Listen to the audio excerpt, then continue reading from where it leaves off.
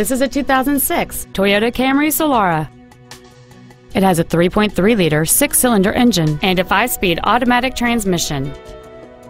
Its top features include a sunroof, a power driver's seat, a CD player, a low tire pressure indicator, an anti-lock braking system, and this vehicle's stylish design always looks great. This convertible has had only one owner, and it qualifies for the Carfax buyback guarantee. This vehicle won't last long at this price. Call and arrange a test drive now.